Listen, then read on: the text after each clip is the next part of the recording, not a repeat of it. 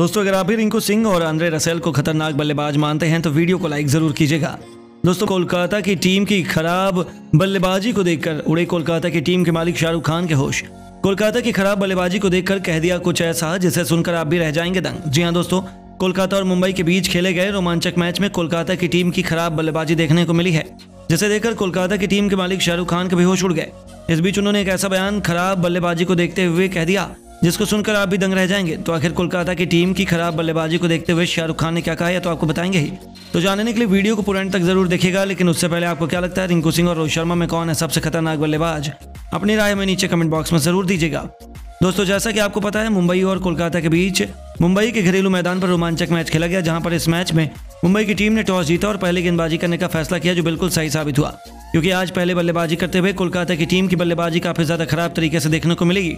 आज के दिन कोलकाता की टीम की तरफ़ से शुरुआती पाँच विकेट मात्र संतावन रन के अंदर सैंतीस गेंद के अंदर गिर गए, जिसके चलते कोलकाता की टीम को दिक्कत का सामना करना पड़ा।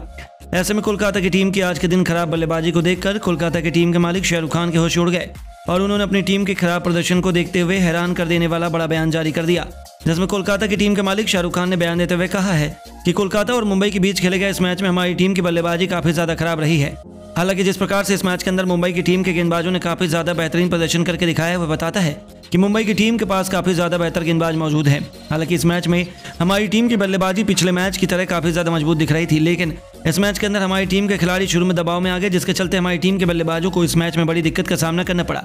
हालाँकि हमें सुनील नारायण और साल की तूफानी बल्लेबाजी की आदत हो गई थी, लेकिन जिस प्रकार से इस मैच के अंदर आज दोनों बल्लेबाजों ने काफ़ी ज़्यादा दबाव में आकर अपना विकेट दे दिया, उसके चलते हमारी टीम को दिक्कत का सामना करना पड़ा और हमारी टीम कम स्कोर भी बना पाई। इसके अलावा उन्होंने आगे बयान देते हुए कहा कि इस मैच के अंदर अगर हमारी टीम की तरफ़ से आज सलामी बल्लेबाज बेहतर शुरुआत करते तो इस मैच में हमारी टीम को काफ़ी ज़्यादा फ़ायदा मिल सकता था, लेकिन हमारी टीम को इस मैच में अंदर मज़बूत शुरुआत नहीं मिला और इतना ही नहीं, हमारी टीम के कप्तान भी आज कुछ खास कमाल नहीं कर पाए।